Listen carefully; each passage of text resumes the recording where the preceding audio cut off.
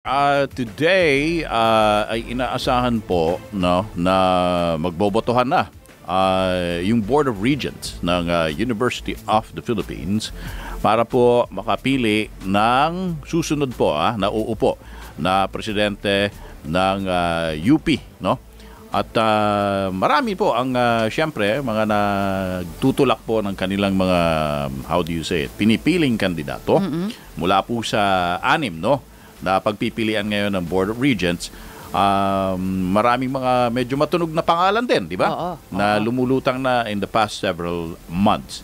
Ah, Siyempre, ang mahalaga po dito, ah, kapag meron nga pong napili no, na presidente ng ah, University of the Philippines, ay ah, malaman kung ano ang magiging direksyon no, ng ah, UP particular siyempre sa uh, yung educational programs nito, 'di ba? At uh, yung mismong uh, pakikipag-trato ng UP uh, sa mismong pamahalaan dahil kung maalala niyo po mga kapamilya, 'di ba? Nagkaroon po ng uh, konting sigalot sa pagitan po ng UP at ng Department of National Defense nang biglang pinakansela ng DND yung kanilang matagal ng kasunduan no patungkol po sa ah, parang ah, how do you say it? Autonomy ba ng UP na hindi dapat ma- manghimasok ang mga security forces sa loob mismo ng campus, no?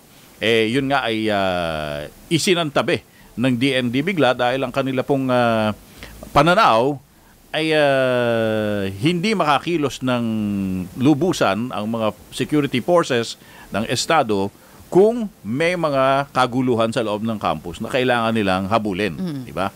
So ah, mga isa sa mga bagay 'yon na, na pinagdaanan din ng UP kamakailan.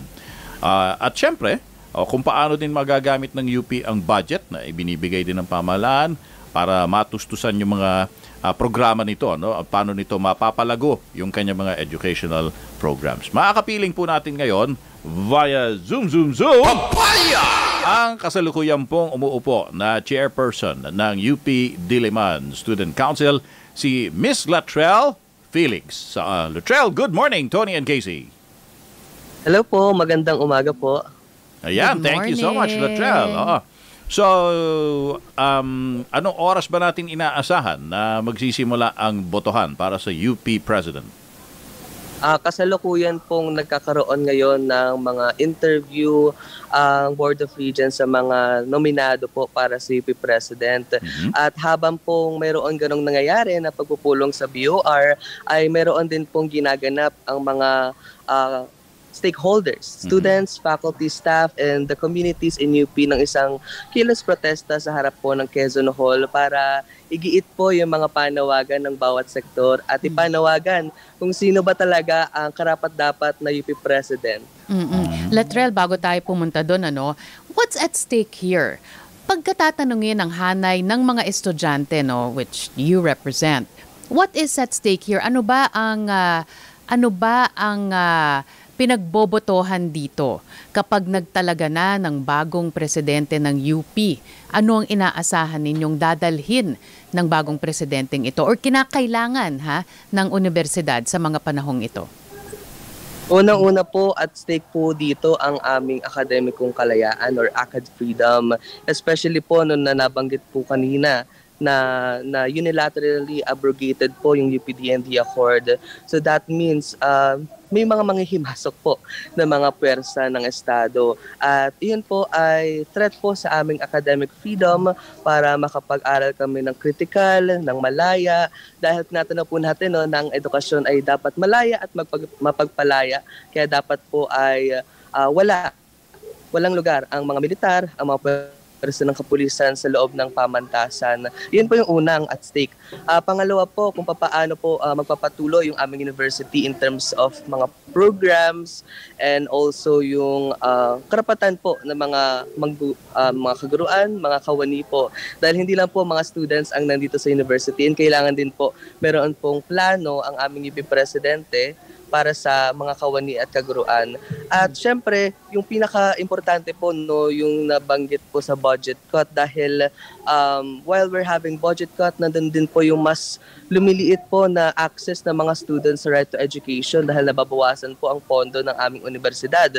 So with that, uh, meron po kahirapan sa mga uh, offering courses and also po doon sa parang kahirapan in terms of access sa mga basic student services po, especially ngayon po na mayroong kahirapan po na yung mga students na nagkakaroon ng mga psycho-social needs. So, kailangan din po no, ng mga services for our students. Mm. So, yung mga ganun pong klase ng serv- services ay mas malilimit dahil nga po sa mga cut sa budget and yung mga uh, that's that's in terms of budget and in overall at stake po talaga yung um, integrity kumbaga mm. yung honor and excellence sa kailangan po nating uh, uh, i-uphold mm. and from that no doon po sa UP president na kailangan po natin ay talagang dapat titindig po sa mga constituents niya Mm-mm. at yun ba ang dahilan kung bakit yung mismong UP Diliman Student Council ay inendorso si Chancellor Fidel Nemenso bilang susunod na UP President Latrell Yes po, kaya po kami ay nag-endorso dahil among doon sa six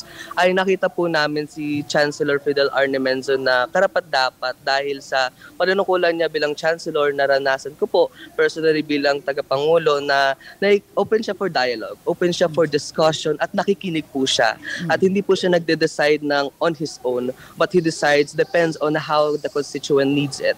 So yun po yung pinakakailangan. Kasi po ang BOR or Board of Regents with the UP President, sila po yung highest decision-making body eh. So kung highest decision-making body, dapat yung dinedecide nila ay represented kung ano yung pangangailangan on the ground, which is us. So kailangan po open po for dialogue, open for discussion, at nakikinig sa mga demands ng constituents niya. Mm-hmm. And with Dr. Fidel Arnemenzo, siya po talaga yung nakita namin na karapat-dapat and uh, deserving of the position. Mm-hmm. Uh, Latrell, meron ka bang nakikita o naaalala na polisiya no? nitong uh, outgoing administration ng uh, UP na maaring o dapat uh, bawiin o baligtarin ng papasok na bagong UP president? Ayun po, oh. Um, kasalukuyan po dahil po marami ang mga um, build, build, build, kumbaga, dito sa pamantasan ay nandoon po yung pag-penetrate ng commercialization sa pamantasan. Nandoon po yung mga uh, malls at iba't ibang mga mm-hmm. commercial uh, um, aspect po, no? And with that po, kasi nakita natin na ang pamantasan ay dapat hindi ginagawang profit making at dapat mas learning and uh, kung paano mas mapapaunlad no yung critical na pag-iisip at knowledge ng uh, isang estudyante para pagsilbihan ng sambayanan. Kaya po nakita ko no na hmm. dapat tutulan yung ganitong mga klase ng uh, komersyalisasyon sa mm-hmm. ating pamantasan. And aside po from that, kailangan din po no, natanggalin din ang contractualisasyon sa loob ng pamantasan. Mm-hmm. Dapat mas paninindigan yung mga karapatan at uh, kapakanan no, ng mga uh, kawanidin ng pamantasan. Mm-hmm. Although, Latrell, uh, let me just play devil's advocate muna to you. Ano? Kasi kaya din naman nagsimula ang UP ng pagli-lease out de, ng ilang mga lupain nito para magamit for commercial purposes. No? Nakita naman natin sa Techno Hub na nag-evolve yan into a business process outsourcing uh, center. Eh. So may kinikita ang UP from the lease of its land to uh, mga big companies. I, sa tingin mo ba yung ganong klasing programa eh, hindi makakabuti sa UP kung kunwari mas marami pang mga uh, lupain sa UP campus ang ipa-lease out or ipagpatuloy na i-lease out dito sa mga companies na ito. Ayun po, no. Dahil uh, nandun po kasi kami sa perspektibo na um, kailangan po no, ma-provide ang uh, quality education. Mm-hmm. So with that po, katulad po sa town center, for example, ayun po uh, UPIS or Integrated School. So dahil nga po ay uh, nakuha siya as bilang commercial space, ay mas lumiit po yung espasyo ng mga uh, elementary, high school, and uh, integrated school po sa UP. So parang yung ganoon pong aspeto po. Kung yung mga spaces po ay supposedly for uh, buildings of uh, programs and uh, yung mas pag-establish po ng mas maayos na mga programa for our education and that would be no, the necessary for a university po. Oh, kanina nung nagsimula tayo, Latrell, sabi mo merong ongoing interviews uh, yung BOR dun sa mga kandidato. Eh, tama ba yung nadinig ko? Yes po. Mm-mm. Bali sa interviews na ito, parang ano lang siya, ah, how do you say it? Parang ah, screening, pre-screening bago magbotohan. Mm. Yes po. Most likely ganun din po ang mangyayari. Mm. mm. May idea ka ba kung kunwari, ano ba ang mga usually tinatanong ng BOR kapag nagte-interview sa mga candidates for UP President? Um, Siyempre, usually po ang kanilang vision mission Mhm. and kung, kung paano po nila patatakbuhin yung university. Especially no, na kailangan po na i-uphold ang UP Charter na, um, na talagang pinanghawakan din ng university dahil that includes yung mga academic freedom, how the people, how the students, for example, or Yeah. the scholar ng bayan can serve the people Mhm. uh, with all those things. And I think no, yung mga vision mission plans, yun po yung most likely na tatanungin. Mm. So, yung bang ah, mga saloobin ng Student Council, eh, yun naman ay ah, ah, na ipapaabot dun sa mga kandidato through the question and answer, itong interview. Um, yan po ang we're not sure. But uh, before that procedure po, nandoon yung student councils na nag endorse Mhm. and mas nagkakaroon po kami ng room to room, ng discussions with the student para mapakilos din sila. Yeah. And with that po, nandun din po yung system-wide efforts po namin na paingayin po yung campaigns namin. For example, na endorse uh, Nemenzo and oppose Sanchez dahil po nandoon yung mga points of unity po namin. And with that, sa mga nagagather po namin unities, doon po pinapasa po namin with our platforms or we maximize po yung resources like emailing blast those uh, Board of Regents Mhm. and uh, how we communicate also then po yung mga uh, sectoral regions, for example, ang student regent and Mhm. papaano po na makakausap din yung iba't ibang rehente sa university. Mm. Nabanggit mo kasi merong ah, endorse ni Menzo o Poe Sanchez. Kaya babasahin ko muna, no, ah, Latrell. ah. Ah, ito po muna mga pangalan nung anim po na kandidato ah, na pagpipilian po ng Board of Regents na magiging susunod na presidente ng University of the Philippines. Ah, si Patrick Alain Azanza na naging presidente ng Catanduanes State University noong ah, magmula pa noong 2021. Si Salvador Belaro Jr. ay dati siyang party list representative ah, ng ano to? One ang edukasyon party list at kasalukuyang ah, Dean ng College of Law sa Wesleyan University of the Philippines. Si Angelo Jimenez naman ay dating naging UP Regent ah, magmula noong 2016 hanggang nung nakaraang taong 2021. Ito nga pong si Fidel Nemenzo, ang kasalukuyang pong UP Diliman Chancellor ah, magmula pa ho noong taong 2020. At yung nabanggit nyo ha, Latrell, na ino-oppose nyo si Fernando Sanchez Jr., dati namang Chancellor sa UP Los Baños magmula po noong 2014 hanggang 2020. At yung ika-anim po na kandidato, si Benito Pacheco, proposer po siya ngayon sa UP College of Engineering magmula pa noong taong 2006. So yun yung mga pangalan no, ng mga pagpipilian ng Board of Regents. Partner. Mm. Yes, oo. Latrell, gusto ko lang din tanungin sa iyo kasi very clear sa inyo kung bakit si Fidel Nemenso ang gusto ninyo, no? Pero nabanggit mo rin kanina kasama nyo ngayon yung mga iba pang stakeholders, yung mga faculty, no? Yung iba pang ah, ah, kabilang sa ah, community ng ah, University of the Philippines. Ano naman din ang uh, salubin nila? Um, si Nemenso din ba ang kanilang napupusuan? Um, yes po, um, nandun po naman din kasi ang multi-sectoral alliance para i-consolidate din po yung pagtingin nila and kung ano po yung mga demands and yung campaigns po ng bawat sector. And upon with consultations and discussions po with them, ay nakita rin po nila na si uh, Chancellor Nemenzo ang natatangi noon at lumilitaw na kandidato na mag-uphold sa kanilang karapatan. Mm-mm. Dahil po last, uh, last open forum po nung, na- ah, nung November ay na-disappoint po actually yung mga communities with how other nominees plan out yung kanilang vision of the UP. And most uh, nominees ay gustong paalisin ang mga residente sa uh, UP community, yung mga dahil hindi po hindi lang po kami academic uh, community but also may mga residents po dito, may mga Mm-mm. villages and Yes. mga So, nandun po, um, tinatawag din po silang informal settlers and kung paano sila tatanggalin and gagamitin po yung mga spaces for commercial use. So, yun po, yung mga ganun pong aspeto, sobrang na-disappoint po sila. Pero Latrell, the Yeah, sorry, sorry to cut uh, cut you there and put this in edgewise, no. Traditionally, um, kailan nakukuha ba talaga ang sentimiento ng student council, ng iba pang mga stakeholders sa pagpili ng susunod na UP president? Kailan yung huling um, pagboto sa UP president na uh, sang-ayon nga sa kagustuhan ng UP Student Council at yung iba pang stakeholders uh, dyan sa University of the Philippines, Latrell? Uh, Siyempre po, no, na ironically, the largest stakeholders po kami pero we don't have the power po to vote. So, nandoon po yung pag-assert po namin sa Board of Regents. And the last uh, UP presidency uh, nominations or selection po uh, noong napili si Danicon, actually, um, it's like, ano rin po eh, parang sino yung lesser evil kumbaga. And uh, um, nandoon po, Kasama po actually si Popoy de Vera doon sa nominado and uh, if I'm correct.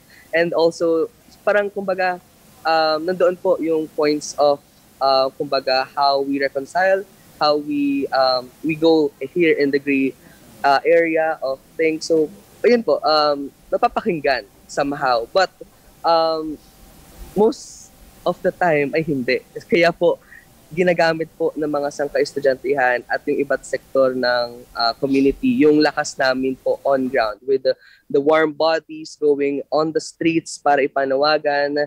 Dahil kailangan po matakot sila sa amin kasi kami po ang pinakamalaking stakeholder. And kailangan po nasa amin po ang uh, pagpapasya kung ano yung dapat nilang i-decide. Kasi Board of Regents sila decision making body and uh, dapat kami yung uh, um, yung pinapakinggan nila kasi kami naman po ang ta- yung directly affected of their decisions. Oo. Latrell, um, itong composition ng uh, Board of Regents, no? Uh, kasama na dyan, syempre, yung CHED, chairperson, no? si uh, Prof. Uh, Prospero de Vera, uh, si Senator Francis Escudero, nandito yung uh, dating, uh, ay yung kasalukuyang UP President, di ba? Si Danny Concepcion, Attorney Danny Concepcion. Uh, may nadagdag ba sa komposisyon ng Board of Regents?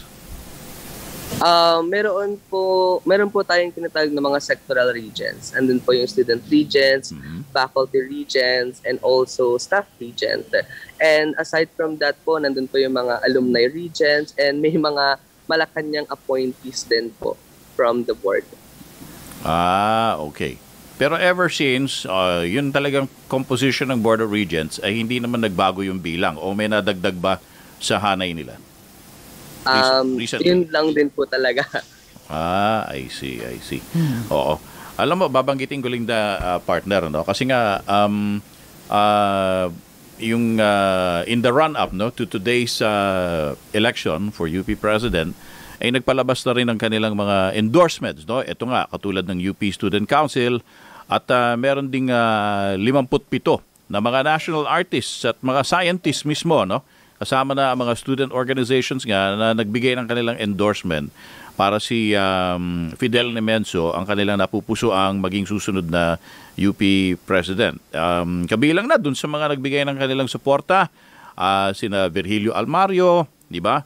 Si uh, Ryan Cayabyab, si Ricky Lee, ha? Mm-hmm tapos si uh, former uh, Education Secretary uh, Liling Briones, uh, dating UP President Emerlinda Roman, na naging professor ko rin, at uh, marami marami ding mga iba pang mga profesor no? So parang ang, ang lawak din eh Oo. ng suporta no? Na ibinibigay para kay uh, Fidel Nemenso hmm. mabanggit ko lang pala ano ba ang kursong tinapos mo ni uh, uh, Fidel Nemenso sa UP Lateral naalala mo ba? Uh, Yes po, uh, siya po ay mula sa Institute of Mathematics po. So, kumbaga siya po ay mathematician po na well-known po din sa university. Not just in university but also in parts of the world po. Oo. So, tanyag na tanyag talaga, no? Academic background itong si Fidel Nemenso. Uh, naging miyembro naging miyembro din ba siya ng UP Student Council noon? Maalala mo ba, uh, Lateral? Um, as far as as far as I remember po, yes, naging part din po siya ng council po. Mm-hmm. Kaya very active nga itong si uh, Dr. Fidel Nemenso, no? Nung siya ay uh, estudyante pa sa UP, naalala mm-hmm. ko, ang kwento diyan ay kasama siya sa ilang mga nagrally ata dun sa may bandang uh, Mabuhay Rotonda, Welcome Rotonda. Mm-hmm. Pero nung dinisperse ata ito nung PC pa ata noon eh, Philippine mm-hmm. Constabulary ay nagkaputukan. Alam ko itong si Dr. Fidel Nemenzo ay natamaan ng bala ito sa bandang likuran eh. Naalala mo ba yon na Latrell yung kwentong yun? Yes po, yun po. yun po yung Mm. ano rin po, na yung fact din po na Mm. um, nabaril din siya noon. Yeah, so talagang ah, literally may bakas si ah, Dr. Fidel Nemenzo ng kanyang active participation ano Ah, sa student activism nung kabataan din niya at ah, yun nga ay parang ah, makikita nating dala-dala rin niya no hanggang sa siya ay ah, maupo ah, bilang ah, ah, board of regents. So parang ang ang idea kasi dito eh yung dumaan siya sa mga pinagdadaanan nga rin ngayon ng mga kabataan eh parang siya nga ang ah, nagiging ah, how do you say it kumakatawan eh sa Yun. kanilang aspiration. Kasi napaka-importante, hindi ba, sa isang pinuno na hindi ka maging out of touch sa kung sino man ang pinamumunuan mo. Kailangan din natin banggitin, um, uh, Latrell. Latrell, no, na itong si Fidel Nemenso ay anak ni Francisco Dodong Nemenso, na siya namang tanyag na political scientist at naging bahagi din talaga ng komunidad dyan sa University of uh, the Philippines. So kung pag-uusapan na lang ang, ang ah, ang ah, personalidad ni Fidel Nemenso. Hindi lang niya to nakuha nung siya student activist, nung siya mag-aaral dyan sa UP, pero nakuha niya to mula sa ah, sa pamilya din niya no, na talagang naging ah, kasama sa hanay na ng pakikipaglaban siya dyan sa Universidad ng Pilipinas at ng buong bansa. Dahil talaga namang ang mga Nemenso ay parating um, ah, o- ah, nasa hanay ng ng taong bayan yan. Eh bago tayo magpaalam kay Latrell, ah, matanong ko lang ano kung sakaling mabigo mabigo kayo ah, sa hangarin ninyo na makita na maluklok nga si Fidel Nemenzo na susunod na presidente ng UP, ano ang ah, nakikita nyong gagawin ninyo ha, sa UP Student Council?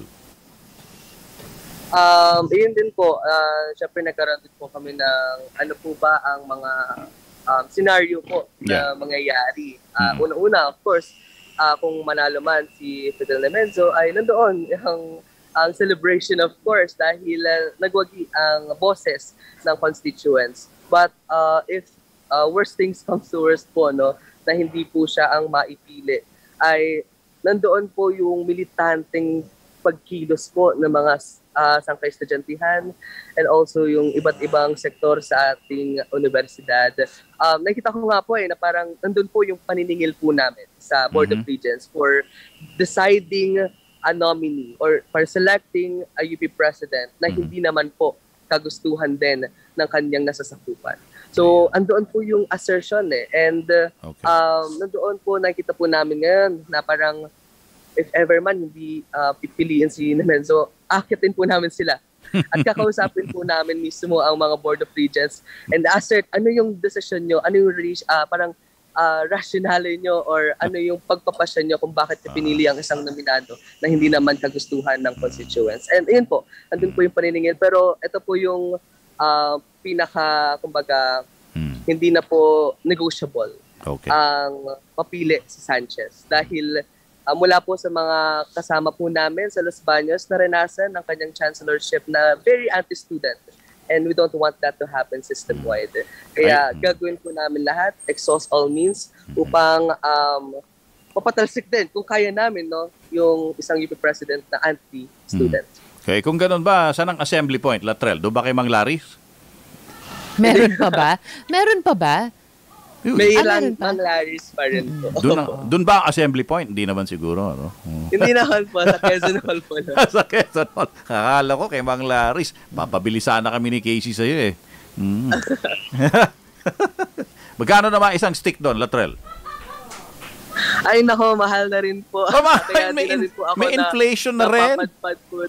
Ay, grabe naman. Ikaw ba magkano ba yung isang stick nung panahon mo? Hindi ko na maalala eh, partner. Sa totoo lang. Oo. Hindi ko na maalala. Ah, sa tagal na ng Eh, yung ikot, magkano nung panahon mo? Ay, yung ikot. magkano parang- ngayon, Lat- Parang Latrell? yung ikot na abutan ko pa, parang benching ko lang ata. No way. Totoo! Ikaw, Latrell, magkano na ba ngayon? 12 po. What? Napakamahal. Ano? mahal! 12 pesos? Ang ikot? Yes Ako, po. ano? Kaya po, naglalakad na lang. Nako. Ah, kaya pala wala, kaya pala naglalakad sila to, laban na. Oo. Ako Akala ko naman nasa ikot ko. jeep ka kanina nung ka- kausap ka namin kaya tumatalbog eh. Oo. Ang naabutan ko kasi Naglalakad 125. 125. Oh, eh ganun talagang lakas ng taas ng inflation, di ba? Grabe. O sentimo lang ang bayad ganun. Grabe. Hmm, eh, 12 isipin mo- pesos? Oo. Maglakad na lang nga. Maka 10,000 steps a day ka pa, no, Latrell? Hindi, tsaka bike friend, bike friendly naman ata ang UP, eh, di ba? Ah, ah, ah, Ah, ah, bike Yes friendly. bike friend. Mm-mm. Anyway, sige. Latrell Felix, uh, chairperson ng UP Diliman Student Council. Maraming salamat, ha, Latrell. At uh, dun po, po. sa mga kumakandidato for UP President, may the best man or woman win.